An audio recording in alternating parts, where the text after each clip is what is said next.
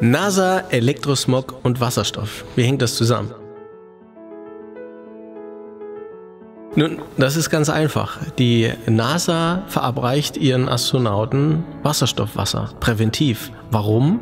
Weil die Strahlenbelastung äh, im Orbit natürlich deutlich höher ist als bei uns auf der Erde. Was hat das mit Elektrosmog zu tun?